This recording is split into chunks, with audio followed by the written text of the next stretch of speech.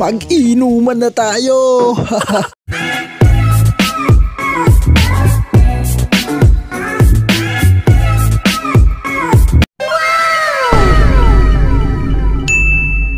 Yun mga kauragon, bago ang lahat, huwag mong kalimutan ang mag-subscribe sa channel ko.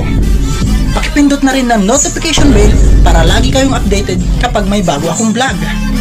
So ayun mga kauragon, panoorin nyo na ang aking vlog number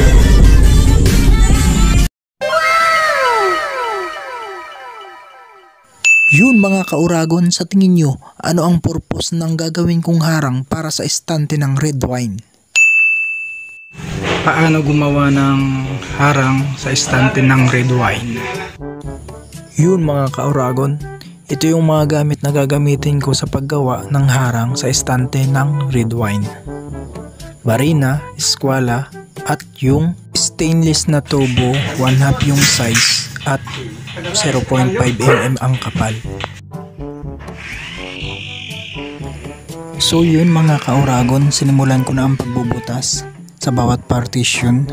Then ang size ng mga butas niyan is 1 half lang.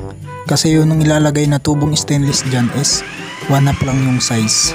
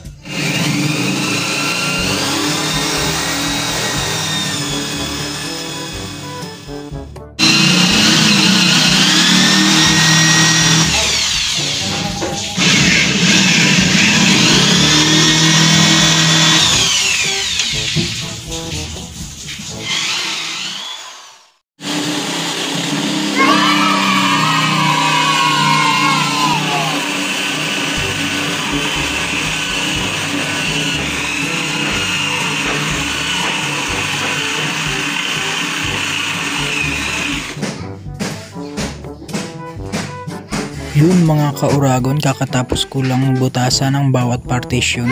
So ang susunod kong gawin ay sukatin kung gaano kahaba. Then pagkatapos, sukatin naman yung tubo para putulin.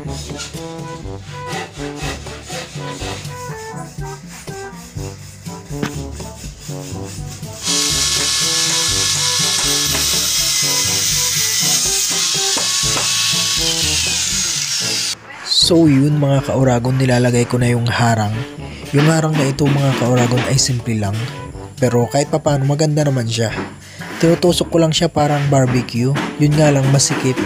Kaya mahirap tugin.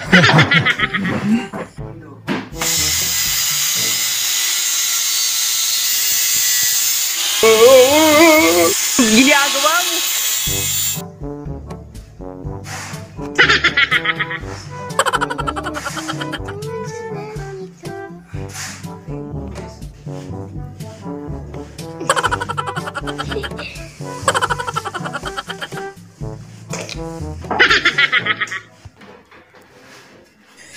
mga kauragon, ito na yung huling tuhog. Ay mali, ito pala yung last na ilalagay kong harang.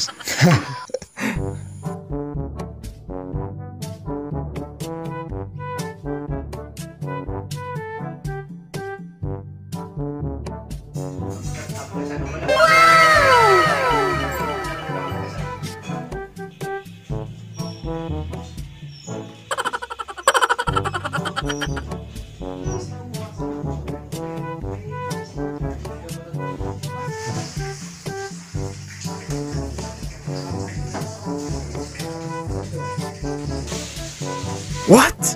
What? What do y'all think?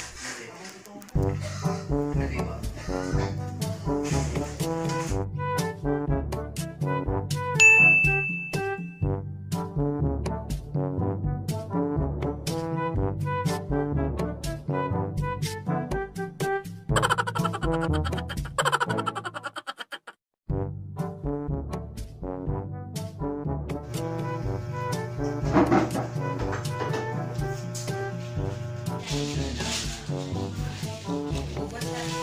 mga kauragon, may red wine na. So ano pa hinihintay nyo?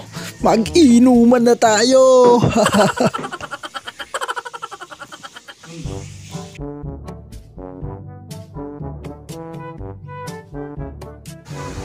Nga pala mga kauragon, kaya nilagyan ko ito ng harang or pinalagyan sa akin ng harang dahil sa mga hindi inaasahan. Halimbawa, kung sakaling lumindol, hindi hindi malalaglag yung red wine.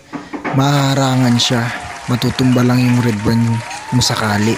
Pero sana wag naman sanang lumindol kasi mahirap na kapag nagkataon na lumindol talaga. So sana wag naman mangyari sa ating mga ka-Oragon. Tapos mga ka-Oragon, mas maganda pa rin talagang lagyan ng harang ang istante. Kung mapapansin nyo, mas magandang tingnan. At saka yung design niyan mga ka-Oragon, simple lang. Sariling idea ko lang yan. So, napakasimpleng design lang, mabilis lang na. DIY lang yung mga ka-Oragon. Salamat natapos din. So ayun mga kauragon, salamat sa inyong mga panonood. Huwag kalimutan mag-subscribe sa aking channel. Salamat!